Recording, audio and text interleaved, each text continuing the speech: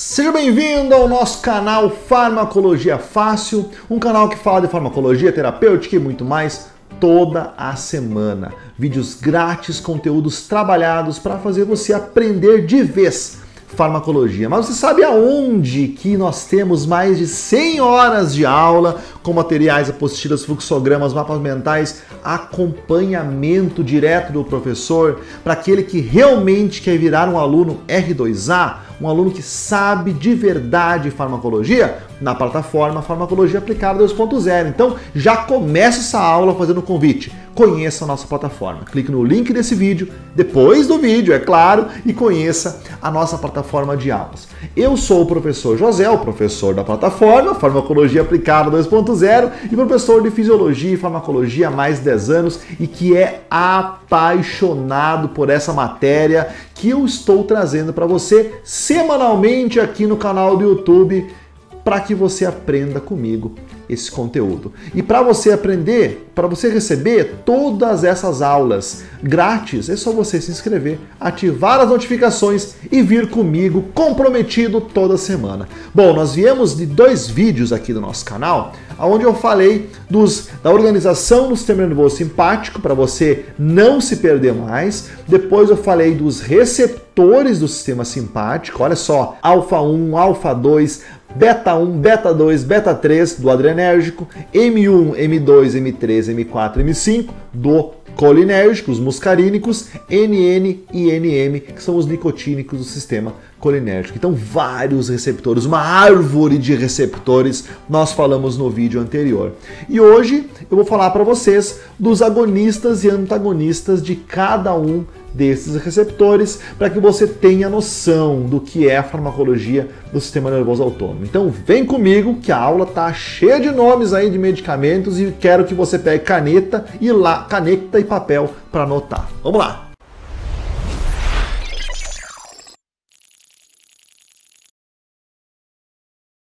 Bora, então nós vamos falar dos agonistas adrenérgicos primeiro.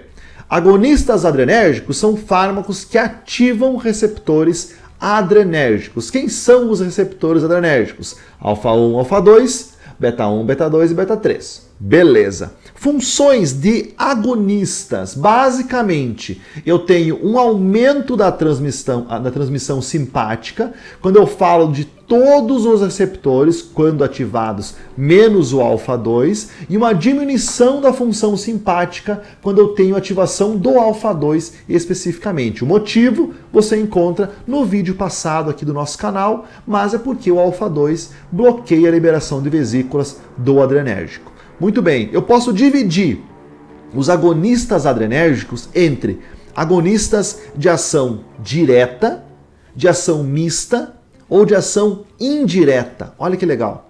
Aí, os agonistas de ação direta, que estão aqui, ó, eles podem ser divididos em fármacos seletivos e fármacos não seletivos.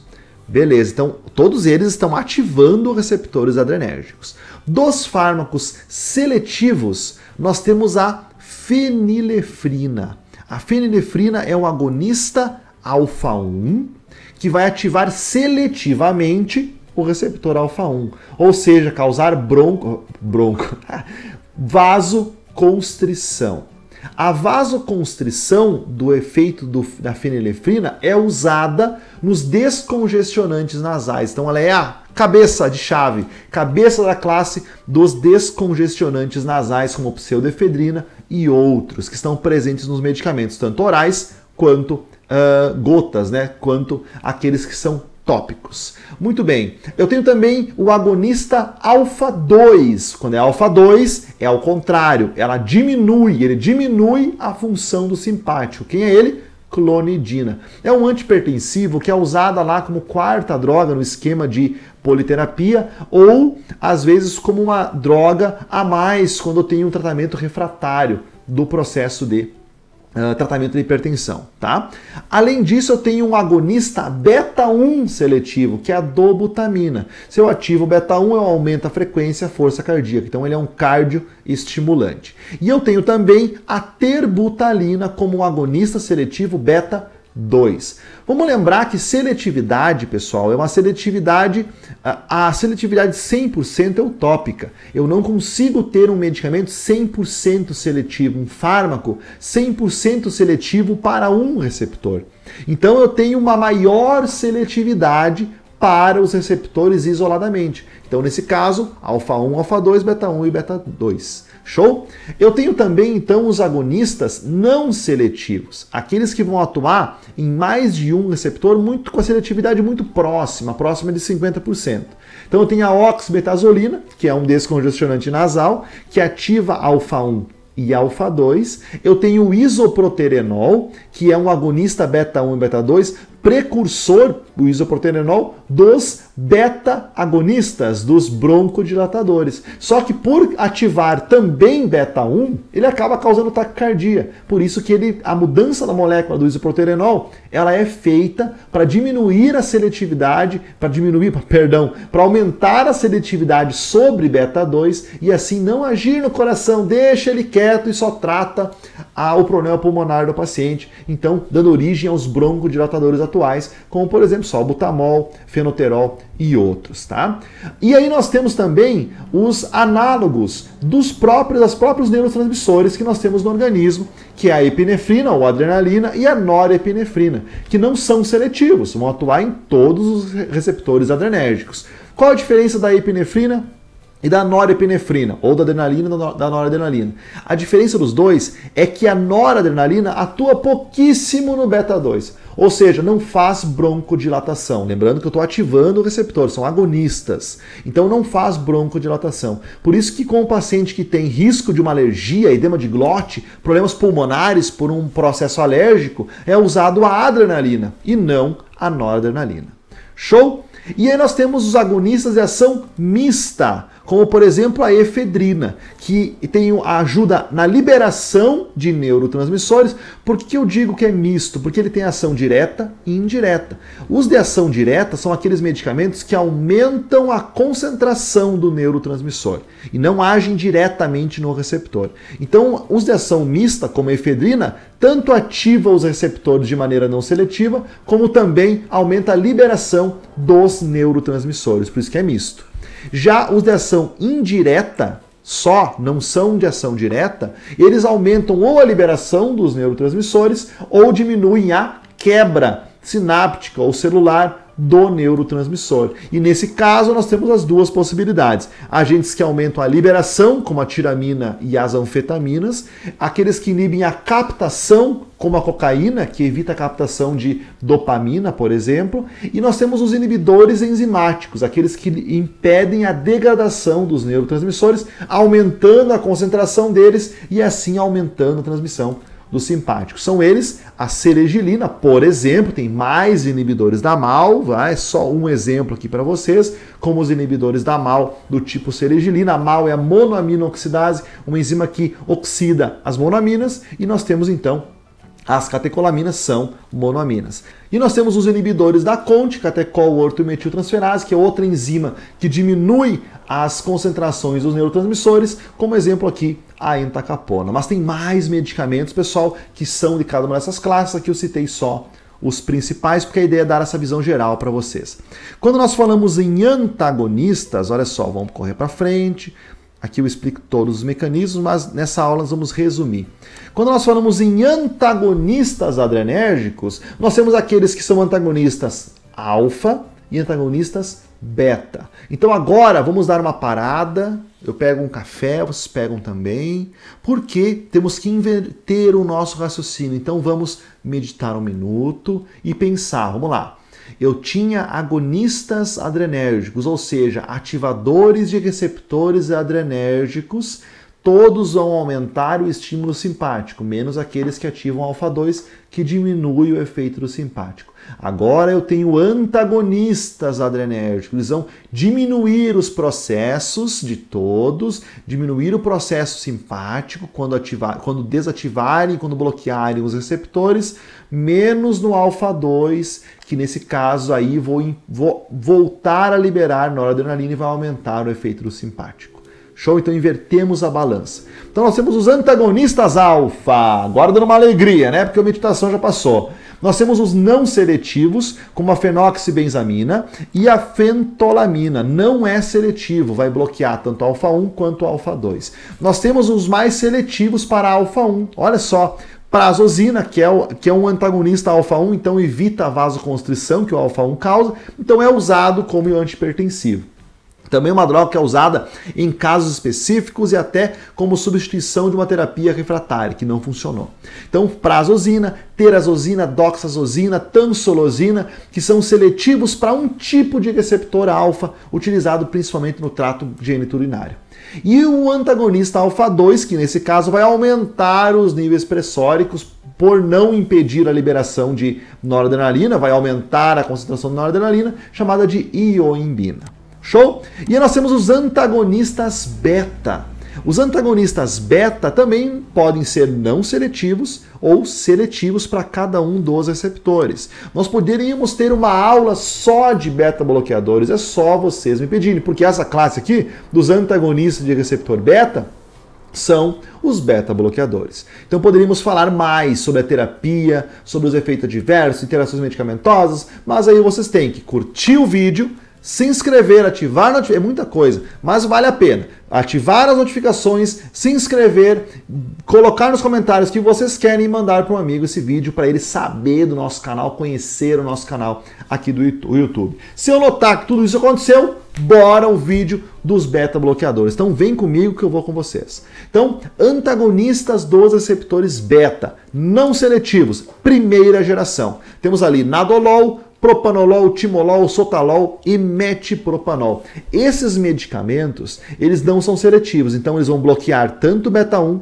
quanto beta 2. Ou seja, quando bloqueia beta 1, vai diminuir frequência e força cardíaca, que é o objetivo terapêutico. Mas bloqueando beta 2, fazem broncoconstrição e aí eu posso ter problemas respiratórios. Então, uma contraindicação direta dessa classe, primeira geração, pacientes com asma, DPOC, enfisema, problemas pulmonares, idosos com pulmão comprometido, quando a pessoa tem uma infecção pulmonar, uma pneumonia, nesses casos. Quando se faz uma espirometria para verificar a função pulmonar, né, os volumes pulmonares, também é contraindicado utilizar esse tipo de classe, essa, geração de beta-bloqueadores. Pensando nesse problema, surgiu a segunda geração, que é de beta-1 mais seletivos, ou seja, atuam mais seletivamente sobre beta-1, diminuindo um pouco o efeito no pulmão. Então tem, por exemplo, o atenolol e o metoprolol. Esses dois, essas duas classes, primeira geração e segunda geração, tem essa grande diferença agir ou não agir no pulmão devido à seletividade. Mas nenhuma das duas classes age nos vasos sanguíneos de maneira associada, ou seja, não fazem vasodilatação. Então, o começo do uso de qualquer uma dessas duas primeiras gerações pode causar um aumento da pressão arterial como reflexo do efeito no coração. Então a terceira geração tem essa ideia de medicamentos que ajam no coração, mas também agem nos vasos por diferentes mecanismos, ou através do óxido nítrico, ou ação direta como vasodilatador. Então, várias funções, mas todas fazendo vasodilatação e impedindo esse reflexo dos vasos. Mas, dentro da terceira geração, eu tenho fármacos que são seletivos para receptor beta 1, ou seja, não tem efeito importante no pulmão, e aqueles que não são seletivos, ou seja, podem causar problemas pulmonares também. Então a terceira geração que pode causar problemas pulmonares porque não são seletivos, mas fazem vasodilatação, seletivos para beta, né? Mas fazem dilatação, vasodilatação, são o labetalol e carvedilol principalmente. Já quando nós falamos em beta 1 seletivos, nós falamos terceira geração, nós falamos de medicamentos que fazem vasodilatação e que também são mais seletivos para o coração, não agindo tanto nos vasos. Nesse caso, eu tenho o Nebivolol como principal representante. Então nós vimos os agonistas e os antagonistas. Agora você volta aqui no vídeo, nos agonistas, anota todos eles, faz uma lista, faz um esquema que nem eu coloquei aqui no slide para os agonistas e antagonistas que você não vai mais se perder nos fármacos que agem no sistema nervoso autônomo. Pessoal, agora basta a gente ir atrás, por exemplo, de efeitos adversos, interações medicamentosas e muito da terapêutica e do uso desses medicamentos, a indicação de cada um deles. E se você quer saber mais sobre isso, é só clicar aqui no vídeo, no link aqui embaixo desse vídeo e conhecer a nossa plataforma. Lá você vai aprofundar mais ainda sobre a farmacologia, buscando conteúdo rápido, simples,